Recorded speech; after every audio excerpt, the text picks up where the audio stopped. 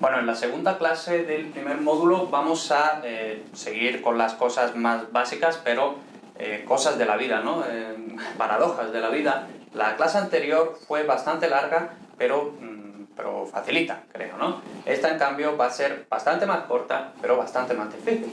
Entonces, vamos a ver. Los casos y su función y los artículos.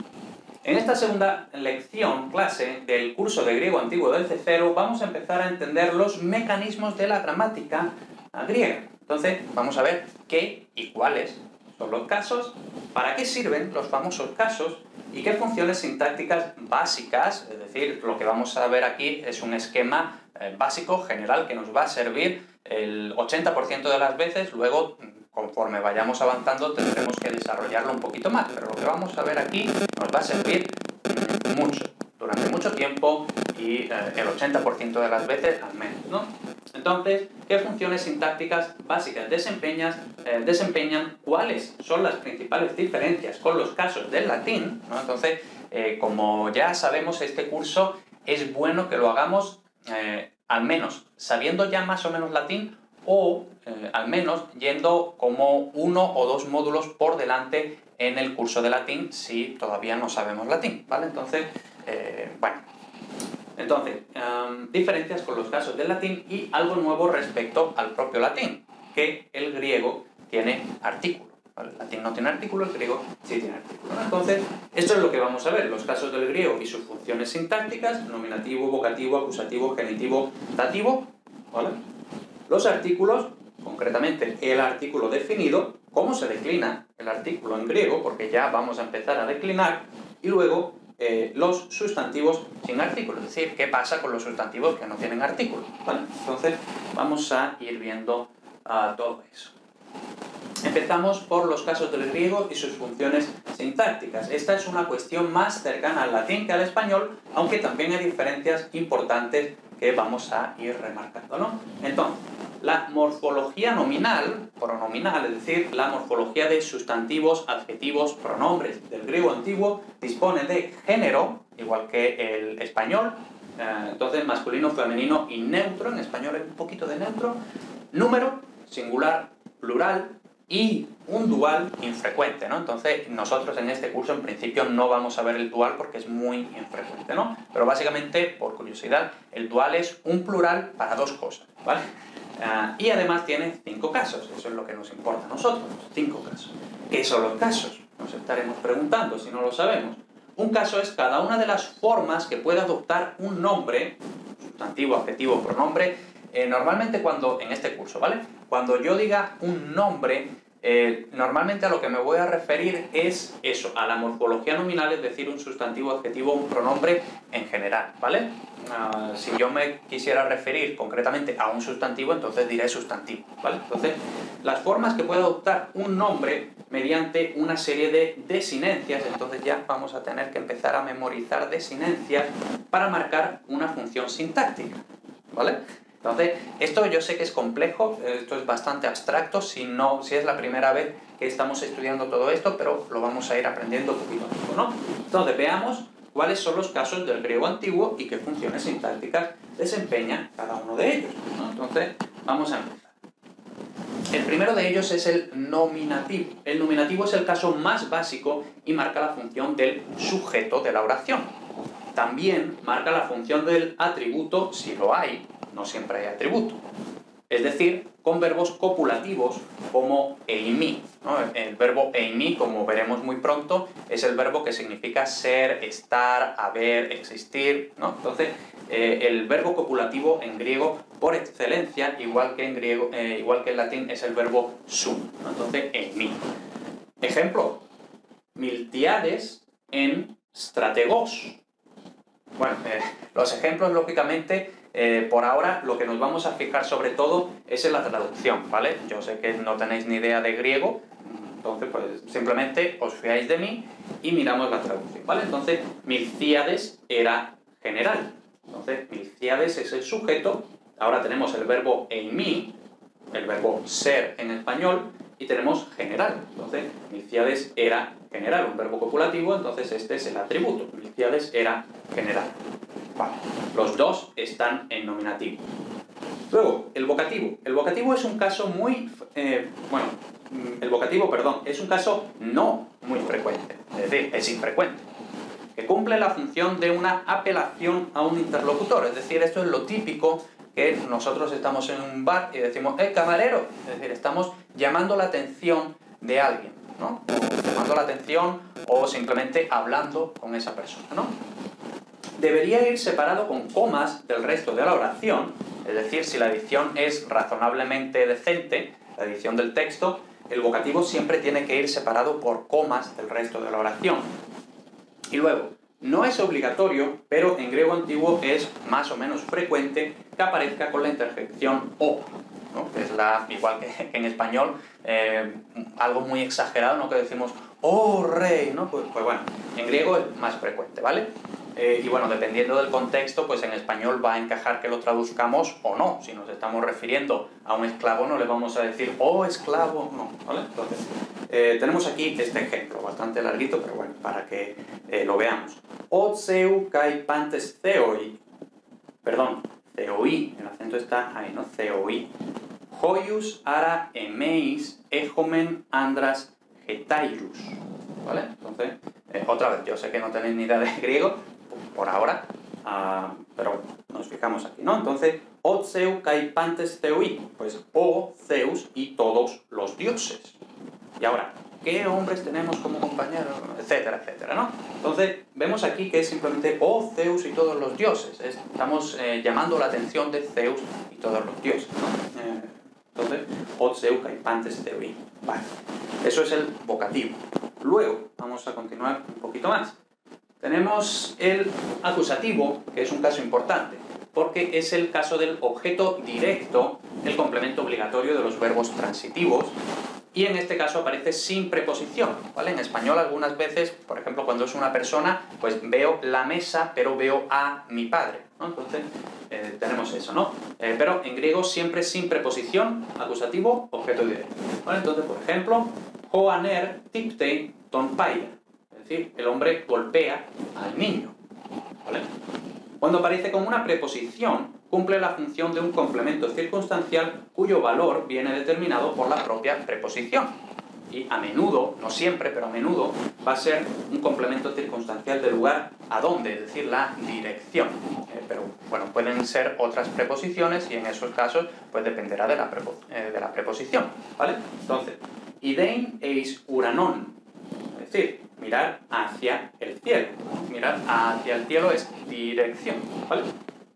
Y puede aparecer sin preposición, igual que esto, con funciones distintas al objeto directo. Y eso ya lo iremos aprendiendo con la práctica, sobre todo, ¿no? Conforme nos vaya saliendo las traducciones, iremos diciendo, ah, pues esto, tal, no sé qué. Y también, ya en niveles bastante más avanzados, lo veremos eh, con teoría y todo eso, ¿no? Luego, otro caso, el ah, genitivo. Tenemos el genitivo cumple de forma básica la función de complemento del nombre, igual que el latín. En este caso no lleva preposición. Entonces, por ejemplo, hoi solonos nomoi, las leyes solonos, de Solón. ¿Vale? Vemos que en español sí tiene preposición de, pero en griego no, ¿vale? Eh, literalmente, las de Solón leyes.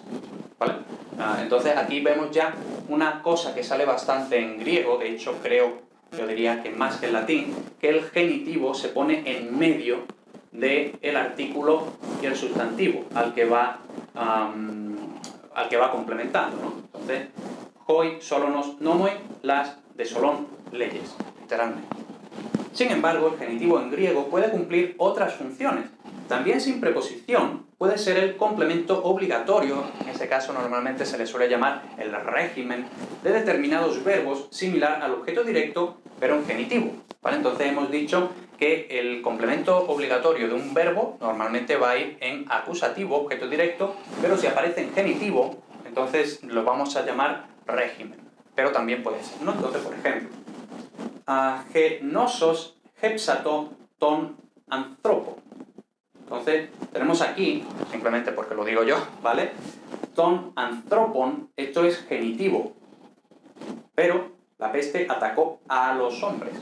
Entonces, esto en español pues es simplemente un objeto directo, pero vemos que en griego el objeto directo de algunos verbos, y eso depende del verbo, ¿vale? El verbo es el que va a decir eh, mi objeto directo va en acusativo, normalmente, pero algunos pocos verbos van a decir mi objeto directo, mi régimen, eh, pues va a ir en genitivo, ¿vale? Vamos a ver que el dativo también puede eh, hacer eso, ¿no?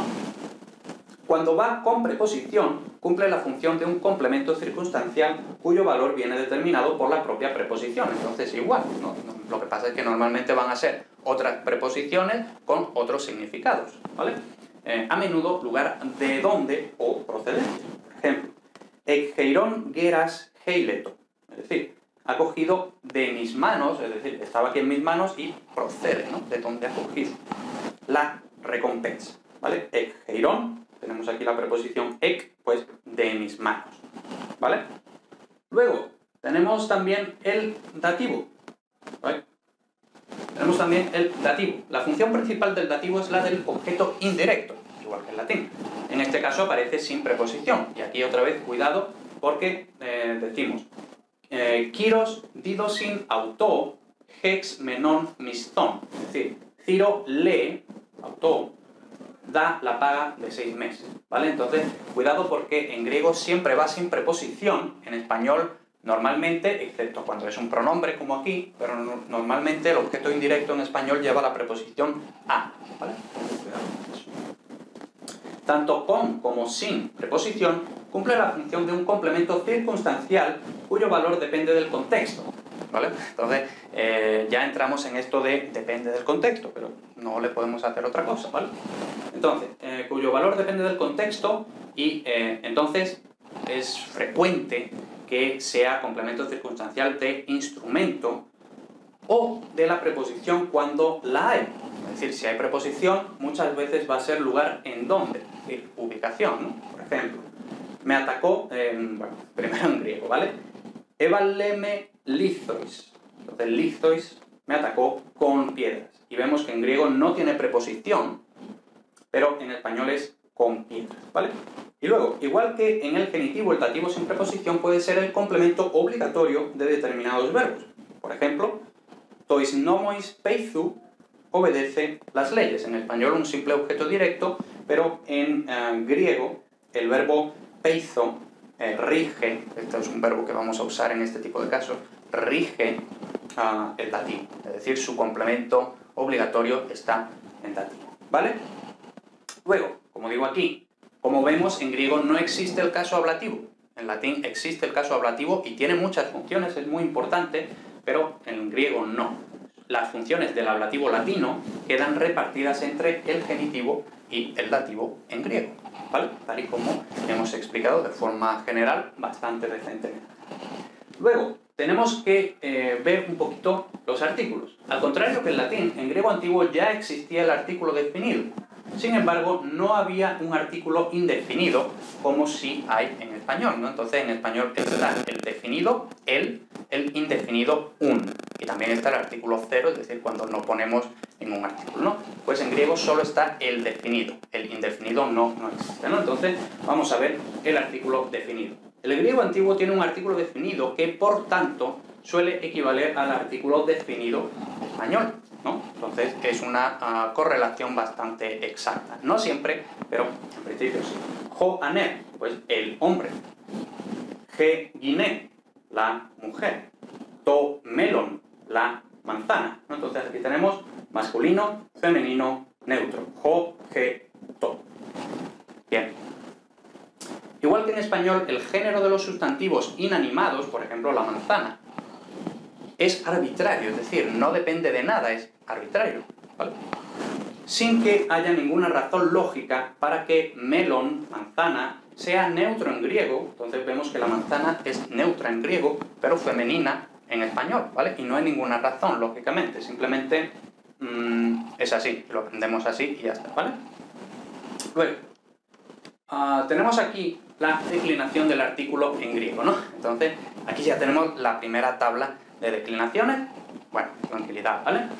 El artículo es un elemento flexivo, es decir, se declina, es decir, tiene todas estas formas, ¿vale? Como veremos más adelante, la declinación del artículo es razonablemente simple. por ahora hemos de aprenderla simplemente de memoria, ¿vale? Entonces, en serio, la tabla hay que aprendérsela, hay que estudiarla, mm, tenemos que ser capaces de más o menos, eh, bueno, más o menos no, de reconocer rápidamente cuando veamos un artículo eh, a qué corresponde, ¿no? Entonces, eh, bueno, aquí por cierto digo las filas, una fila, una fila, una fila, una fila, columna, columna, columna, ¿vale? Entonces, las filas de la tabla siguen el orden previsto, teniendo en cuenta que el vocativo no tiene artículo, el vocativo no tiene artículo.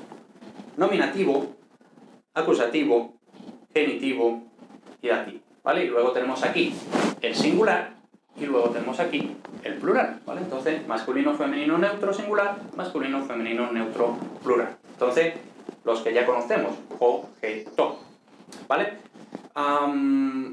Bueno, esto no tiene mucha historia, ¿vale? Simplemente tenemos aquí objeto, eso lo aprendemos de memoria, ton, ten, entonces vemos que la ni en principio marca el acusativo singular, ¿vale? Y luego to, vemos, esto es una cosa que se va a repetir siempre. El neutro, el nominativo, el vocativo y el acusativo van a ser iguales en todas las declinaciones, ¿vale? Luego, tú, tes, tú. Entonces tenemos aquí que el masculino y el neutro se parecen aquí y también se parecen en el dativo. To, to, femenino, te. Luego, el plural. Hoi, hai, ta. Y ahora otra vez vemos aquí ta, ¿vale? Que es igual. Ta, ta. Nominativo, acusativo. Tus, tas, ton, ton, ton. Entonces igual. Ton, ton, ton. Tois, tais, tois. Entonces, ¿vale? Vemos que por lo general, por lo general, el masculino va a tener una O, el neutro es como el masculino, pero más simple en el nominativo y en el vocativo, y luego el femenino va a tener eh, muchas veces, no siempre, una A o una ETA. ¿Vale? Entonces, mm, es buena práctica que intentemos ver patrones, ¿vale? Porque esto ahora mismo es una tabla pero a lo largo del curso vamos a estudiar muchísimas tablas, ¿vale? Entonces, si conseguimos ver los patrones que mm, al final se van a repetir bastante, pero eh, en cada tabla a su manera, ¿vale? Pero entonces, si podemos entender, captar los patrones eh, básicos, entonces eso es bueno, ¿vale? Bien, pues este es el artículo, nos lo aprendemos, ¿vale?